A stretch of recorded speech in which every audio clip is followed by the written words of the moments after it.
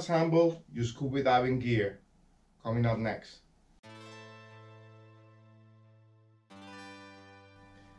Hello everybody, welcome to my channel, Never2old-SD here with another scuba diving video. Today I'm going to show you how you can assemble your scuba diving gear so you can get ready to hit the water. Here's how it's done. You're gonna need your regulator, your cylinder, and your BCD or buoyancy compensator. So here we are, like I said, regulator, cylinder, and BCD. What you're gonna do, remove the cap out of the cylinder neck. Always make sure that the cylinder has an O-ring right there because if it doesn't have the O-ring there, air is gonna escape and you're gonna lose air sooner than what you're supposed to.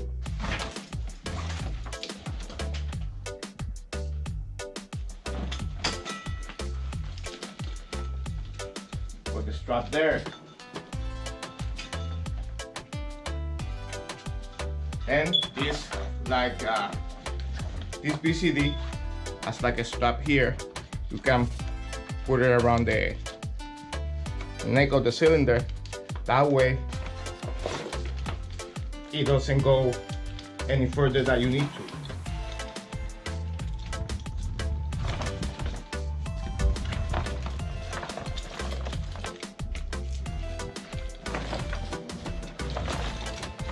Is more or less even with this part of the cylinder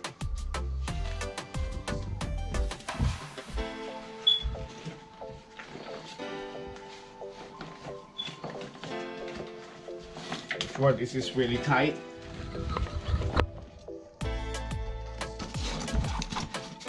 And there it doesn't it doesn't move because you don't want this to slip while you're in the water. And it's time for the hook up the regulator. Always the second stage goes on the right side of you. Usually gonna find your regulator with the dust cap on like this. So make sure you unscrew the dust cap and goes like such.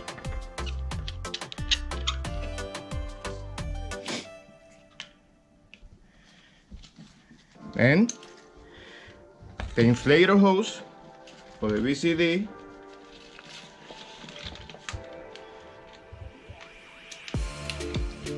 Make sure it does the click, doesn't come off.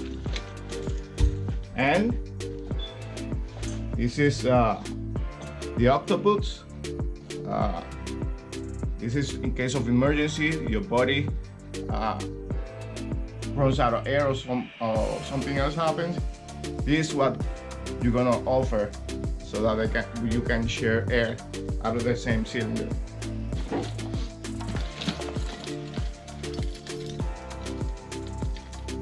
Goes into the octopus holder. That way this is not hanging and causing you entanglement into anything. And this is your primary second stage. And this is your gauges. And when you put your jacket on like I have it here clip it here so it's not hanging either. So there you have it. Then you turn your cylinder your air on. See you have to make sure that it's really on.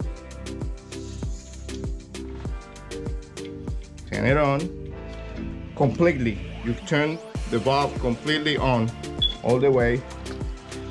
And uh, I used this tank the other day so we only have right now a thousand pounds but you gotta make sure that uh, it goes all the way to 3000 and there you have it. That's how you assemble your scuba diving gear. Always make sure you and your body check each other's equipment to make sure that everything is assigned correctly. And when you're in the water, always take a couple of breaths out of your regulator because sometimes for whatever reason you forget that you turn the air off, they're still gonna have you're still gonna have a couple of breaths out of here and you might think that the air is on. So always take a few breaths on the surface of the water to make sure that you have plenty of air and you are ready to hit the water and have fun. So this is the video I want to do. Now you know how to set up your scuba diving gear and I'll see you later in the next video. It has been Never2old-SD. Happy diving.